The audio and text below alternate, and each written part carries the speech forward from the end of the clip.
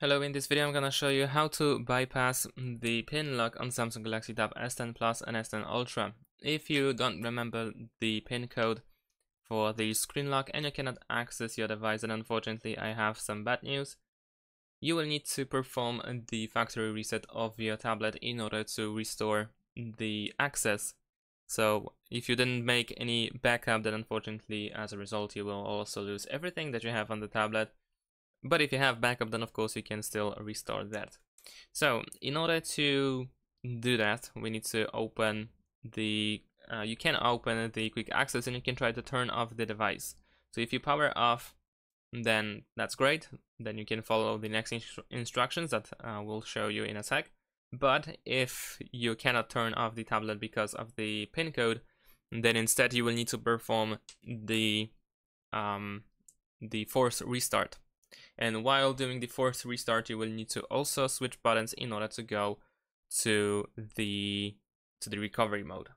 So, in order to do the force restart, you will need to use two buttons, the power button and volume down button. You want to press and hold both buttons and you will need to hold it for like, um, I think 10, maybe 15 seconds until the screen turns off. And once the screen turns off, we will need to immediately go to the recovery mode. And in order to go to recovery mode, we will need to hold power button and the volume up button.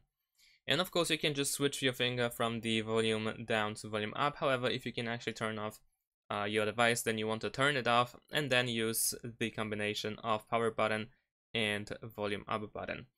So first of all, force restart. So I'm gonna press and hold the power button and volume down button. There we go. Now let's wait for the device to turn off. To turn off, and once it is off, we want to immediately switch to volume up and hold it. Let's keep holding it. Soon the screen should turn off. There we go. And now switch to volume up and hold power button and volume up we will see the Samsung logo. Keep holding the button until you actually see the recovery menu. There we go. Now we can release both buttons. And here we can choose to go down, so use volume down or volume up in order to navigate. And then you have the option to wipe data slash factory reset. Confirm your choice by pressing the power button. And then once again, go down and choose factory data reset. Then once you select this option, simply follow the instructions and you should be able to force um not force uh, just hard reset your device and you should be able to get your access back to the tablet. Thanks for watching leave a like and subscribe to my channel and see you in my next videos. Bye